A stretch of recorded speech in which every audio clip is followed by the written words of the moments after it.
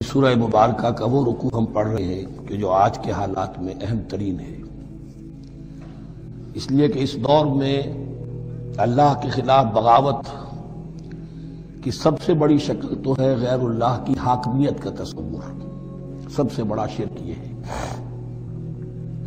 नफसियाती एतबार से सबसे बड़ा शिरक, मादे पर तवक्कुल बुतों से तुझको उम्मीदें, खुदा से नौ उम्मीदी, मुझे बता तो सही और काफरी क्या है। लेकिन ये नफसियाती और दाखिली बात है। खारजी और वाकयाती दुनिया में सबसे बड़ा शिरक इस वक्त, वो गैरुल्लाह की हाकमियत, जो अब अवामी शक्ल इख्तियार कर गई, अवामी हाकमियत। और उसके बाद इस वक्त के गुनाहों में, बदअमली में, सबसे बड़ा फसाद जो है वो सूद की बुनियाद पर है सबसे बड़ा फितना, सबसे बड़ा फसाद। दुनिया में जो इस वक्त सबसे बड़ी शैतनत है, जो यहूदियों के ज़रिए से पूरे ग्लोब को अपनी गिरफ्त में लेने के लिए बेताब है, वो यही है जो सूद का हथकंडा है। उसकी हरमत यहाँ एक सवाल मेरे जहन में कभी कभी पैदा होता था कि ये जो पहली आयत है, इसका ताल्लुक तो इन्फाक फ़ी सबील्लाह के साथ है, इसे पिछले रुकू के साथ शामिल होना चाहिए था। लेकिन बाद में यह हकीकत मुझ पर मुनकशिफ हुई। कि बड़ी हिकमत के साथ इस आयत को, इस रुकू के साथ शामिल किया गया है। वो हिकमत मैं बाद में बयान करूँगा। अल्लाजीन यूनफिकून अम्वालहम बिल्लैल वन्नहार, वो लोग जो अपना माल खर्च करते रहते हैं, रात को भी, दिन में भी, सिर्रम वालानियतन खुफिया तौर पर भी एलानिया भी। सदकात वाजिबा एलानिया सदकात नाफिला खुफिया, इन्फाक फ़ी सबील्लाह खुफिया। फलहम अजरहम इन रबिम वला खौफ अलहम वलाहम यासनून उनके लिए उनका अजर महफूज है उनके रब के पास, न उन पर कोई खौफ तारी होगा और न ही वो किसी हुजन से दो चार होंगे। अल्लजीन याकुलून रिबा अब रिबा का मसला शुरू हो रहा है, जो सूद खाते हैं। वजह क्या है? असल मसला है उस सरप्लस वैल्यू का। आपका कोई शगल है, आपकी मुलाजमत है आप कमा रहे हैं, आपका खर्च पूरा हो रहा है, कुछ बचत भी हो रही है। अब इस बचत का असल मसरफ क्या है? यह सलून कमाजा यूनफिकून कुलाफ असल रास्ता तो यह है कि उसको दे दो अल्लाह की राह में, या मोहताजों को, या अल्लाह के दीन को। लेकिन अब जो सूद खोराना जहनीत है, वो ये कि इस बचत को भी मजीद कमाई का ज़रिया बनाओ ये सूद खोराना जहनीत है। लिहाजा असल में सूद खोरी इन्फाक का की जिद है। और यह उगदा मुझ पर खुला जबकि अलकुरान युफसर बाजू बाजा। इस उसूल के तहत जब सूरह रूम की आयात का मैंने मुताला किया, वहाँ यही शक्ल आपको नज़र आएगी कि इन दोनों को मुकाबले में लाया गया है। अल्लाह की रजाजुई के लिए इंफाक और रिबा, सूद पर रकम देना। वमा आते तुम रिबन ले यरबो वफी अमवालनास फला यरबो इंदल्ला जो कुछ तुम देते हो सूद पर कि वो बढ़े लोगों के माल मेहनत वो कर रहा है और आप उसके, उसकी कमाई में से आप वसूल कर रहे हैं अपने उस सरमाए की वजह से। तो ये गोया कि आपका माल उसके माल में उसकी मेहनत से बढ़ रहा है। अल्लाजी माते तुम रिबन यरबो वफी अमवालनास फला यरबो इंदल्ला अल्लाह के यहाँ बढ़ोतरी नहीं होती। वबा आते तुम मिन जक़ात तुरीदून वजह अल्लाह है। फ़ाउलाफून और वो जो तुम जक़ात और सदकात में दे देते हो, अल्लाह की रजाजुई के लिए तो वो है जो दोहरे चौहरे कर रहे हैं। उनका माल बढ़ रहा है, उसकी बढ़ोतरी हो रही है। तो इन्फाक फ़ी सबील्ला सदकात, जक़ात, इसके मुकाबिल इसके बरक्स है। अपनी उस बचत के माल को, और आपको मालूम है आज की बैंकिंग सिस्टम का सबसे ज़्यादा बचत बचत बचत की? स्कीम और ये सब का सब जो है दर हकीकत saving bank, saving account, save करो। लेकिन सेव करो मजीद कमाने के लिए। सेव जो है, इसलिए नहीं है कि अपना पेट काटो और गुरबा को दो।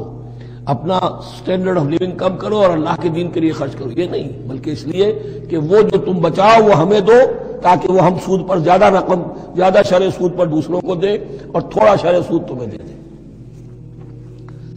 अब इसके बरक से अल्लजीन याकुलून रेबा जो लोग सूद खाते हैं। ला यकूमून अल्ला कमा यकूम लजीत खब्बत हो शैतान मिनलमस वो नहीं खड़े होते मगर उनकी तरह से कि जिनको शैतान ने मखबूतुल हवास बना दिया हो, छू कर। यहाँ आमतौर पर यह समझा गया कि क़यामत के दिन का नक्शा है। ये क़यामत के दिन का नक्शा तो होगा ही, इस दुनिया में भी सूद खोरों का हाल यही है। और अगर इनका नक्शा देखना हो तो किसी स्टॉक एक्सचेंज को जाके देख लीजिए। मालूम होगा दीवाने हैं, पागल हैं, चीख रहे हैं, दौड़ रहे हैं, भाग रहे हैं।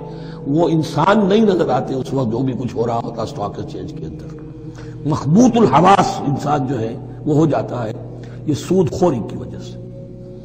अल्लाजीन याकुलून रिबा ला यकूमून इल्ला कमा यकूमुल लज़ी यतखब्बतहु शैतानु ज़ालिका बिअन्नहुम क़ालू इन्नमल बैउ मिस्लुर रिबा। और उनके सबसे बढ़कर मखबूतुल हवास होने की का मजर ये है ये इसलिए कि वो कहते हैं कि बै भी तो रिबा की तरह है बै भी तो सूद है। मैंने सौ रुपए का माल खरीदा, एक सौ दस में बेच दिया, दस बच गए, ये रिबा है। रा जायज़ है। सौ रुपए किसी को दिए और एक सौ दस लिए, ये सूद हो गया। भाई, क्यों हो गया? सौ रुपए की शय दे दी, ये सौ रुपया दे दिया, क्या फ़र्क पड़ा? दस लाख का मकान बनाया चार हज़ार के कर्जे के बहाना किराए पर दे दिया, जायज़ हो गया। दस लाख किसी को दिया और उससे चार हज़ार रुपया महीना देना शुरू किया, ये सूद हो गया, हराम हो गया। अकली तौर पर ये बातें हैं कि जो सूद के हामियों की तरफ़ से कही जाती इन नमल बै मसलू रिबा। बै में कभी जो नफा होता है, रिब और रिबा, ये मैं उस वक्त बयान कर चुका हूँ, सूरह बकरा के दूसरे लोगों के जीवन में।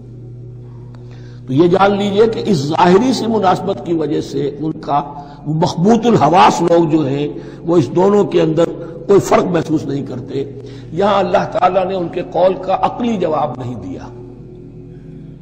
बल्कि जवाब क्या दिया? अहल्लाबया रिबा अल्लाह ने बै को हलाल करार दिया है और रिबा को हराम करार दिया है। अब तुम बात ये करो, अल्लाह को मानते हो या नहीं? रसूल को मानते हो या नहीं? कुरान को मानते हो कि नहीं? या अपनी अकल को मानते हो? अगर तुम मुसलमान हो, अगर तुम मोमिन हो तो अल्लाह का हुक्म, जो वो फरमाए। न सिर्फ़ अल्लाह का, जो रसूल का है। माँ आता रसूल फखजू व माँ नहा हो जो कुछ रसूल तुम्हें दे, ले लो। और जिस चीज़ से रोक दे रुक जाओ। ये तो शरीयत का मामला है। वैसे इसमें जो फ़र्क वाकई होता है, वो ये है कि एक है फ्लूड मनी फ्लूड कैपिटल एक है फिक्स्ड कैपिटल। मकान दस लाख का है, लेकिन मकान से जो शख्स रह रहा फ़ायदा क्या उठाएगा? एक महीने रहेगा ना? बस, उसका बदल आपने ले लिया। दस लाख रुपए किसी को नकद दे दिए, वो किसी काम में लगाएगा। बारह लाख भी बन सकते हैं, पंद्रह भी लग सकते हैं, आठ भी रह सकते हैं। इसमें आपने फिक्स अगर लिया तो ये हराम है। इन दोनों में अगरचे आमतौर पर कहा जाएगा, ये भी कैपिटल है, वो भी कैपिटल है। मकान भी तो सरमाए की एक शक्ल है, लेकिन ये फिक्स कैपिटल है, इसकी शक्ल बदल नहीं रही है। इस मकान में तो एक शख्स रह जाएगा सुकना होगा, उसकी रिहाइश है। या आप कहेंगे उसकी वियर एंड टीयर है तो उसका आपने बदल ले लिया बस खत्म। लेकिन वो जाएगा, वो मकान आपके लिए रह जाएगा। लेकिन ये कि दस लाख जिसको दिया नकद, वो कारोबार करेगा, कुछ और कहीं लगाएगा, उसके अंदर इजाफा भी हो सकता है, कभी भी उसमें फिर फिक्स्ड प्रॉफिट लेना, ये है हराम, और इन दोनों में कोई मुनासबत नहीं। लेकिन अल्लाह ताला ने यह जवाब नहीं दिया। जवाब दिया अल्लाहरम रिबा फमन जाहू मौजत रब ही फनतहा फलहू मासलफ तो जिस शख्स के पास उसके रब की तरफ़ से यह नसीहत पहुँच गई, और वो बाज आ गया, रुक गया, फलहू मासलफ तो जो कुछ पहले वो ले चुका है, वो उसका है, वो उससे वापस नहीं लिया जाएगा। हिसाब किताब नहीं किया जाएगा कि तुम इतना सूद खा चुके हो, वापस करो। लेकिन इसका यह मतलब भी नहीं कि उसका कोई गुनाह उन पर नहीं होगा। वो अमरहू अल्लाह अल्लाह के हवाले रहेगा, मुअल्लक रहेगा। अल्लाह चाहेगा तो मुआफ भी कर देगा और अल्लाह चाहेगा तो पिछले सूद के ऊपर भी उसकी सरजनिश होगी अमरहू अल्लाह वह मन आदा, लेकिन इस नसीहत के आने के बाद भी जिसने दोबारा ये हरकत की फौलाए का साहब नारे फिया खालिदून तो ये जहन्नबी है और इसमें हमेशा हमेशा रहेगा यम हकुल्लाबा सदाकत अल्लाह ताला रिबा को मिटाता है दबाता है और हमारे जमाने में शेख महमूद अहमद मरूम ने किताब लिखी है मैन एंड मनी उसमें साबित किया है जहाँ जो ये सूद का मामला चलता है तीन चीज़ें साथ साथ बढ़ती चली जाती हैं। जितना सूद बढ़ेगा अनएम्प्लॉयमेंट बढ़ेगी इन्फ्लेशन बढ़ेगी। नतीजे में इंटरेस्ट रेट बढ़ेगा। जैसे इंटरेस्ट रेट बढ़ेगा अनएम्प्लॉयमेंट मजीद होगी इन्फ्लेशन ज़्यादा होगी। इससे विश्व सर्कल और इसी के नतीजे में तबाही हो जाती है। छुपी रहती है वो तबाही। वो तो एक ही वक्त में बैंक होगा, कोई बैंक बड़े बड़े बैंक जो है, दिवाले निकलेंगे। अभी जो कोरिया का हशर हो रहा है, और जो इससे पहले रूस का हो चुका है ये सारा जो है, ये यूँ समझिए शीश महल की तरह है। इसमें तो एक पत्थर पड़ेगा तो टुकड़े हो जाएँगे। वमन आद फौला का साबुन्नार हुफिया खालिदुन सदक़ात। अल्लाह ताला पालता है। सदकात को पालता है, बढ़ाता है। अल्लाह के यहाँ, वो आयत में सुना चुका हूँ आपको सूरह रूम की। उनतालीसवीं आयत है ये। वमा आते तुम रिबन यरबो अफी अम्बालनास फला यरबो इंदल्ला वमा आते तुम मिन जक़ात तुरीदून वजह है फ़ौला कहमुल मुजफ़ून वल्लाकुल्ला कफ़ार नसीम और अल्लाह को हरगिज पसंद नहीं है वो सब जो ना शुक्रे हैं और गुनागार हैं।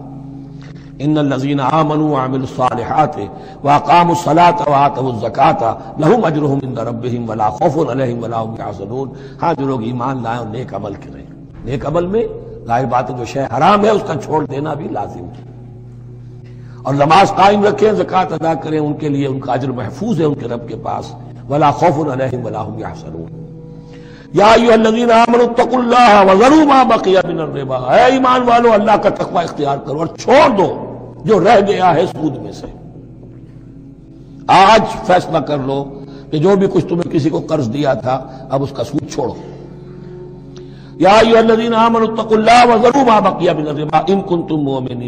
अगर तुम मोमिन हो फ़इल्लम तफ़अलू। और अगर तुमने ऐसा ना किया, बाज ना आए, फाजलू तो कान खोलकर सुन लो। बेहर मिन अल्लाह व रसूली। अल्लाह और उसके रसूल की तरफ़ से ऐलान जंग। ये अल्टीमेटम है। अगर बाज नहीं आते सूद से, देखिए, किसी और गुनाह पर यह बात नहीं आई। अल्लाह और उसके रसूल की तरफ़ से ऐलान जंग। वह तुम तुम फलकुम रूस अम्बालकुम अगर तुम तौबा करो तो तुम्हारे जो असल रासुलमाल है, वो तुम्हें लौटा दिए जाएँगे। सूद छोड़ दो रासुलमाल वापस ले लो। ला तस्लिमून व ला तुजलमून। न तुम जुल्म करो सूद लेकर, और न तुम पर जुल्म किया जाए कि तुम्हारा रासुल माल भी दबा दिया जाए। ला तस्लिमून व ला तुजलमून व इन का नजूसरतिन और अगर तुम्हारा जो मकरूज है वो तंगी में है वो तंगदस्ती में है फनजर ला बैसरा तो उन्हें इंतज़ार करो फिर उसे मोहलत दो कि उसकी हम कुशादगी पैदा हो जाए आसानी से वो आपकी रकम आपका कर्ज वापस कर सके लेकिन इससे भी आगे वन तसदकू खैरुल्लकुम तुम सदका ही कर दो तुम्हारा भाई गरीब था, उसको तुमने कर्ज दिया था, कोई सूद लेकर खा भी चुके हो। अब जो है सूद, अब तो बाकी सूद को तो छोड़ा ही है। अगर वो रासुल माल भी बख्श दो उसको, ये इन्फाक हो जाएगा। ये कर्ज हंसना अल्लाह को हो जाएगा। ये तुम्हारा जो है जखीरा आखरत बन जाएगा। तो यूँ समझिए कि जो भी जो है, जिसको सरप्लस वैल्यू मैंने कहा था इस्लामी मीशत के अंदर, जो बचत है आपकी उस बचत का सबसे ऊँचा मसरफ क्या है? सदका। दे दो इन्फाक कर दो। उससे कमतर क्या है? कर्ज हसना। कर्ज दे दो किसी को ताकि वो अपनी ज़रूरत चला ले। उसका कारोबार रुका हुआ था वो चल पड़ेगा। और तुम्हें फिर वो अपनी असल रकम वापस कर देगा। ये कर्ज हसना उससे कमतर दर्जा है। तीसरा दर्जा एक और भी है जो जायज़ तो है, है मकरूह। पसंदीदा नहीं है। तुम ज़्यादा ही खसीस हो चलो मुजारबत पर दे दो। और मुजारबत यह है कि रकम तुम्हारी काम वो करेगा। अगर बचत हो जाए तो तुम भी ले लेना तो कोई तावान नहीं ले सकते उससे। यह है मुजारबत। इसके बाद अगर तुम कहो कि मैं दे रहा हूँ, मुझे इतने परसेंट तो बहरहाल तुमने देना ही देना है, इससे बढ़कर हराम से कोई नहीं।